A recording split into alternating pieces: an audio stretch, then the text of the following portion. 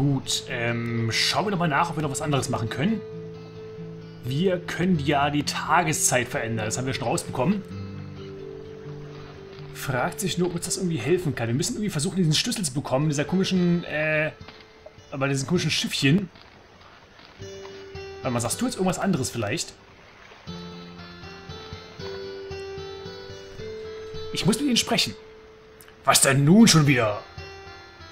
Äh, nein, er sagt nichts anderes. Gut, dann können wir es auch, ab auch abbrechen. Gehen wir darüber. Was war das? Die Statue tropft gerade und du, und du schläfst. Okay. Dazu kommen wir gleich. Aber die Statue tropft, habe ich gerade gesehen. Hat die schon immer getropft? Oh, aus den Rohren. Interessant. An den Sockel dieser Statue ist eine Gedenktafel angebracht. Ne, das hatten wir schon. Blaues Gebäude. Brunnenbronze. Ne, offenbar hat sich keine Änderung ergeben, außer dass es jetzt daraus tropft. Warum auch immer. Ähm, können wir jetzt eigentlich da reingehen? Hm, der Laden ist geschlossen. Ja, der ist wahrscheinlich immer geschlossen. Äh, gut, gehen wir nochmal zurück. Denn die beiden schlafen jetzt. Ist irgendwas an der Position, wo sie waren vielleicht? Nee, ist nichts. Was ist das? Kieselstrand? Ja, mit irgendwelchen Kieselsteinchen.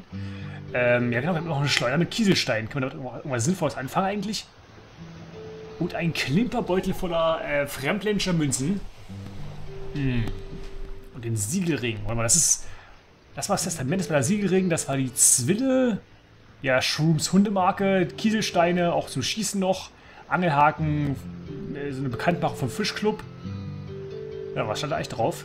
Ja, wir sind doch, haben doch gerade gefischt. Der Angelverein von Raven Hollow musste... Ach so, genau, das, das ist halt, dass sich auflösen war, genau. Und etwas Teer und äh, ein paar Münzen. Ja, gut. McManus Show. Die beiden sind, ein, äh, sind schnell eingeschlafen. Kann man die ansprechen? Ich möchte sie nicht aufwecken. Sie hatten einen harten Tag. Okay, ja nicht. Boot. Ja, mit dem Boot kann man wahrscheinlich nichts machen, aber ich probiere es mal. Die beiden haben schon genug Ärger. Ich sollte die Finger von ihrem Boot lassen. Gut, dann eben nicht. In den Leuchter kommen wir auch nicht rein. Äh, nee, gut, wollen wir gleich versuchen. Ich versuche nochmal kurz in diesen Laden zu gehen und das... die Flasche irgendwie mitzunehmen. Er meinte ja, glaube ich, irgendwie, dass die Flasche an dem äh, irgendwie festgeklebt sei oder sowas. Ich muss mal genau gucken, was das Problem war. Ich glaube, die Flasche ist am Standfuß festgeklebt. Ah ja. Ja, scheint so, als müsste ich das Buddelschiff hier lassen. Kann man das... Ich versuche ein paar Gegenstände darauf anzuwenden. Vielleicht kann man das irgendwie lösen.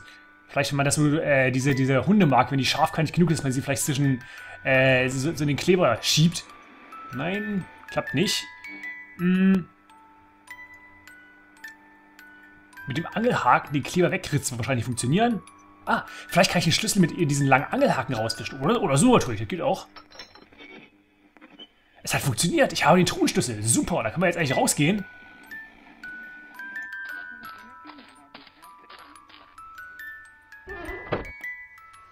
Jetzt sich scheinbar nichts geändert, okay. Gehen wir ins Bootshaus. Doppelklick funktioniert immer noch? Ja, funktioniert immer noch, um das zu, äh, um den Bildschirm schnell zu wechseln. Wundervoll. Äh, sowas liebe ich an Adventures. Ein rostiger Schlüssel für diese wunderschöne Truhe. Ich hoffe, der Schlüssel passt. Er passt. Schau dir das an. Die Schlosswachen haben ein Schiffslogbuch und eine Schachtel Knusperbrezeln beschlagnahmt. Irgendwie hätte ich mehr erwartet. Ich frage mich, ob sie irgendwie, äh, irgendwo anders mehr Beute horten. Möglicherweise haben sie das. Beschlagnahmte Waren nehme ich natürlich beide mit. Mit Vergnügen. Denn mit diesen Waren kann ich das den Captain geben, der mir wiederum oder die mir wiederum den Dorfpass gibt. Wundervoll. Dann gehen wir hier rüber, bitte. Ich weiß allerdings nicht, ob ich dafür den, die Tageszeit ändern muss, wenn ich das überhaupt tun muss. Ich weiß es nicht. So, Kapitän, ich habe hier einmal was zu essen für dich. Das ist kein Brezel-Jack-Moment. Okay, Jacks-Moment. Na gut, dann halt nicht. Aber bevor ich es vergesse, will ich kurz mal reingucken, ob ich da irgendwas finde. Vielleicht ist in der Schachtel irgendwas anderes drin. Auf der Verpackung steht, dass jede Packung äh, Brezel-Jacks, Knusperbrezeln, ein Spielzeug aus der Brezel-Jacks-Sammelreihe der größten Erfindung der Menschheit erhält, enthält. Hier steht, sammle sie alle, von der Glühbirne zum Buchdruck, vom Flugzeug zum Schnittbrot.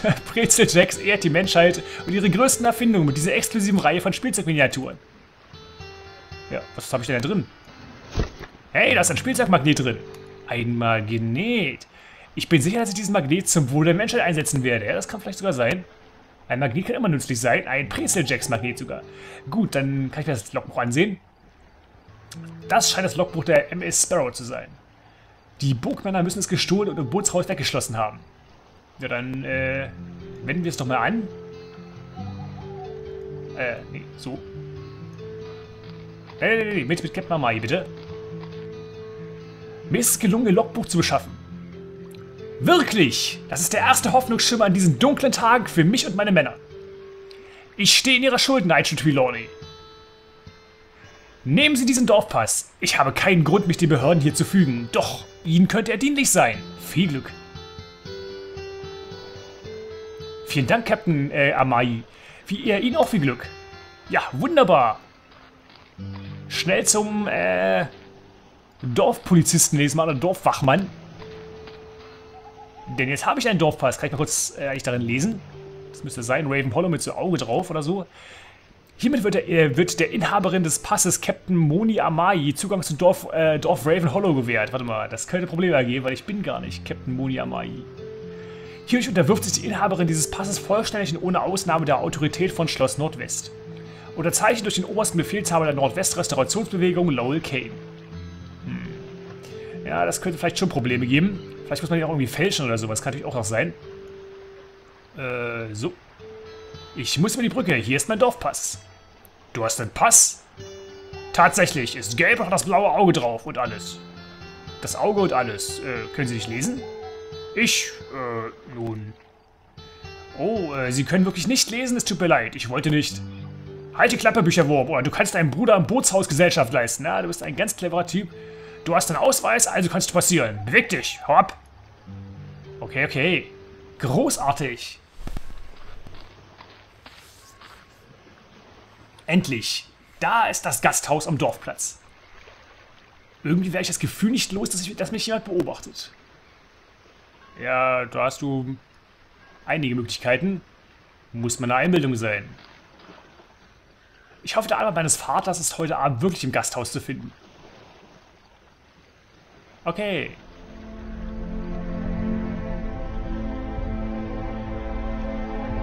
Wenn es mir gefiele, von denen zu stehlen, die nicht viel haben. Wenn mir die Unterdrückung von Kritik und Meinungen gefiele, die mir schaden. Wenn ich noch so tun könnte, als wäre ich ein gerechter Mann. Obwohl ich ein Lügner bin, ja dann. Dann würde ich nicht verachten. Welch ein Unglück die Beamten des Schlosses über unser Dorf brachten. Mhm. Guten Abend. Vielleicht können Sie mir helfen. Was kann ich für Sie tun? Ich suche nach einem Mann namens Lionstone. Er ist Anwalt. Lionstone, wachen Sie auf. Lionstone, Sie sucht jemand nach Ihnen. Nein. Ich habe Ihnen doch gesagt, dass Sie hinter mir her sind. Das Schloss holt mich. Äh, doch noch ab. Sehen Sie! Ich hab's Ihnen doch gesagt, richtig? Gehen Sie weg, Sie! Er gehört nicht zu den Männern vom Schloss. Oder gehören Sie doch etwa zu denen? Nein, ich kam nach Raven Hollow, weil ich dieses Erbsch diese Erbschaftsurkunde von Ihnen erhalten habe, Herr Linestone. Trelawney? Trelawney? Aber... Ich habe Ihnen das Testament schon vor über einem halben Jahr geschickt. Warum kommen Sie ausgerechnet jetzt, wo ja alles den Bach runtergeht? Als ob nicht schon alles kompliziert genug wäre. Oh, mein Kopf. Vor einem halben Jahr, aber ich habe den Brief erst vor einem Monat erhalten. Vor einem Monat. Oh, Web. Web. Soll ich Ihnen sagen, was ich glaube? Soll ich es Ihnen sagen? Ich glaube, Sie sind betrunken, Lionstone. Ja, da haben Sie vermutlich recht. Und wissen Sie noch was? Ich glaube, dass das Schloss unsere Post abfängt. Die müssen meinen Brief an diesen jungen Mann gelesen haben, bevor er dann weitergeleitet wurde. Wer weiß, ob meine anderen Briefe, die ich in den letzten Monaten geschrieben habe, dieses verfluchte Dorf je verlassen haben. Oh, wir hätten etwas unternehmen sollen, als es noch möglich war, Web. Wir hätten etwas tun müssen.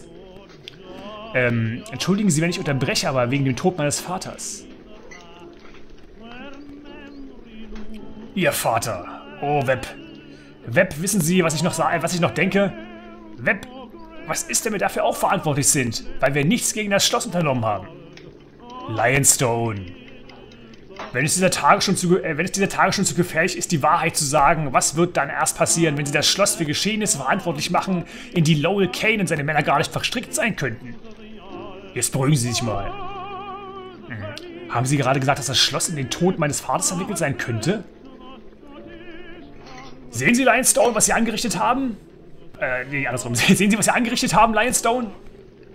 Hören Sie. Soweit ich weiß, könnte das Schloss wirklich für die Verzögerung des Briefes verantwortlich sein. Aber Ihr Vater verschwand vor ungefähr einem Jahr, lange bevor Lowell Kane hier in Ravenhollow aufgetaucht ist. Das Schloss kann nicht für sein Verschwinden verantwortlich sein. Er wurde ein halbes Jahr darauf für tot erklärt. Okay, und äh, was genau ist mein Vater denn zugestoßen?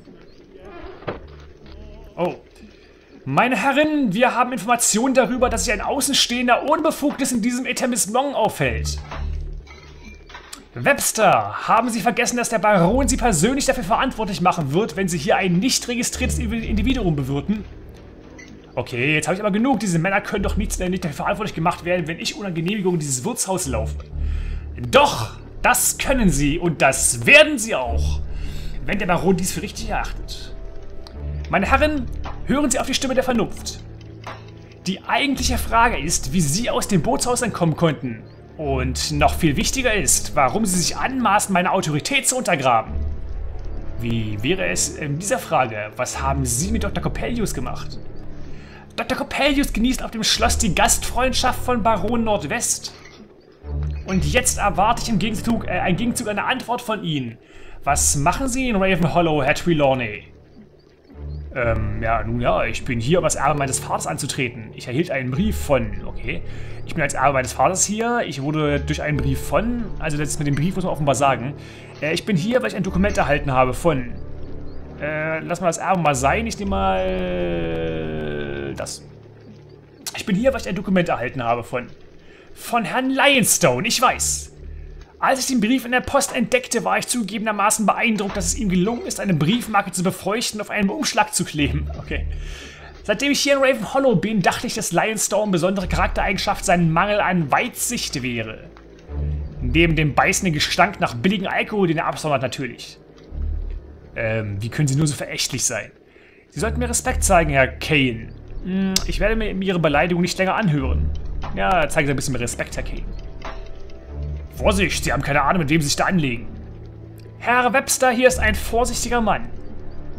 Das ist sehr gut für Herrn Webster und deshalb durfte er auch, zumindest bis jetzt, sein Wirtshaus weiterführen, dank der Duldung durch die Baron. Das Schloss hat diesen Laden geduldet, auch wenn er nicht mehr als eine Galerie armseliger Trunkenbolde wie Herrn Lionstone ist. Zu Ihren Diensten. Also, Herr Trelawney, ich muss Ihnen mitteilen, dass eine Entscheidung zu dem Nachlass Ihres Vaters nur von Baron getroffen werden kann. Es ist sinnlos, Herrn Limestone und eine andere ähnlich, mit, ähnlich bemitleidenswerte Kreatur, die hier Unterschlupf und die berauschende Wirkung billigsten Alkohol sucht, um Hilfe zu bitten. Hm, dann möchte ich mit dem Baron persönlich sprechen. Das ist doch eine super Idee. Herr Webster hatte recht. Sie wissen nicht, mit wem Sie es hier zu tun haben. Merken Sie sich gut, was ich Ihnen nun sage. Niemand wendet sich direkt an den Baron. Nicht einmal ich würde ohne ausdrückliche Aufforderung an ihn herantreten. Und es, ist, äh, und, und es ist unvorstellbar zu erwarten, dass er sich jemals mit einem so erbärmlichen Subjekt wie ihn unterhalten würde.